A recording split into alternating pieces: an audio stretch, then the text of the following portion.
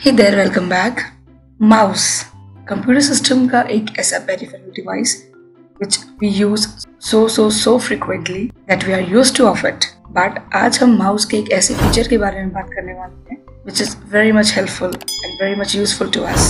That is the scroller.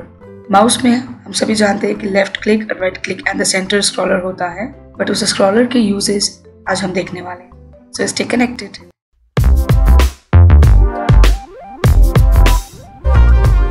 So for the very first usage of scroller is, let's suppose, मैंने Wikipedia में what is Wikipedia search किया and जब मैं किसी भी लिंक पर क्लिक करती हूँ या माउस पॉइंट करती हूँ तो एक हावर इफ़ेक्ट के थ्रू एक नया, उसके बारे में डिस्क्रिप्शन शुरू हो जाता है।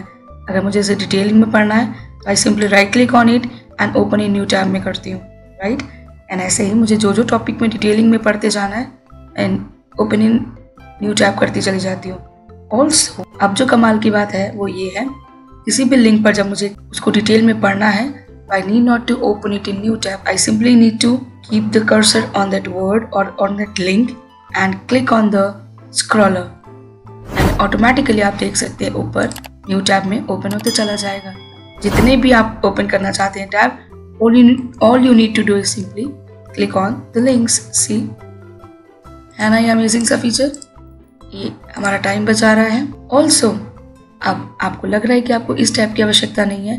What we what we do is simply click on is this this cross symbol right हमें वो भी करने की आवश्यकता नहीं है। सिंपली उस टैब में जाके वापस स्क्रॉलर पे क्लिक कर दिया एंड ये क्लोज होते चला जाएगा। See right right? ऐसे ही अनदर फीचर इज़ आप देख सकते हैं मेरे टास्क पेन में ये सारे ऐप्स हैं जो मुझे लगते रहते हैं। मैंने यहाँ पे इन्हें पिन करके रखा हुआ है ऑन द टास्क पेन इन्हें ओपन करने के लिए मैं इनमें राइट क्लिक करके ओपन कर सकती हूँ, या मैं डबल लेफ़्ट क्लिक से ओपन करूँगी।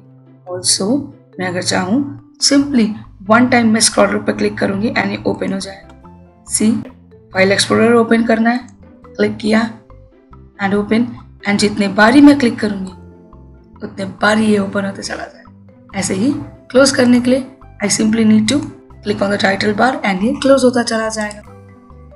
था ना, ये माउस का एक अमेजिंग सा फीचर जो छोटा सा हमारे माउस में स्क्रॉलर लगा होता है, वो काम एक्चुअली बहुत बड़े बड़े करता है। I hope this video was worth watching stay connected for various such videos take very good care of your selves and मिलते हैं अगले वीडियो में।